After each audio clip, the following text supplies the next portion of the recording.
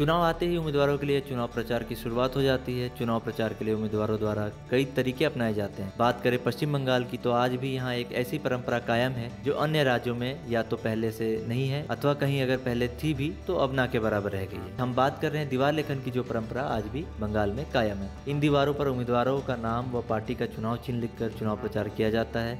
भले ही पहले के समान चुपते नारे और शब्दों के बाण अब दीवार लेखन में देखने को नहीं मिलते हैं, लेकिन आज भी चुनाव आते ही कोलकाता समेत राज्य भर की दीवारें उम्मीदवारों के नामों और राजनीतिक पार्टियों के चुनाव चिन्हों से पट जाती हैं। हालाँकि आज के डिजिटल युग में चुनाव प्रचार का यह तरीका लोगों को कुछ खास पसंद नहीं है। लोगों का कहना है कि किसी की निजी संपत्ति पर इस तरह दीवार लेखन करना केवल दीवारें गंदी करने का एक तरीका है और कुछ नहीं। पहले से कर लिया जाता है दीवारों पर कब्जा। चुनाव के कई महीने पहले से ही दीवारों पर राजनीतिक पार्टियों द्वारा कब्जा कर लिया जाता है। इसके लिए राजनीतिक पार्टियों के कार्यकर्ता अपनी अपनी पार्टियों के नाम दीवारों पर लिख देते हैं। चुनाव करीब आते ही दीवार लेखन की शुरुआत हो जाती है। दीवारों के लिए हो जाता है खून खराबा। पश्चिम बंगाल में दीवारों के लिए खून खराबा तक हो जाता है। अब भी दीवारों पर कब्जे को लेकर के राजनीतिक पार्टियों के बीच वाद विवाद और हंगामे की घटनाएँ देखने को मिल जाती हैं।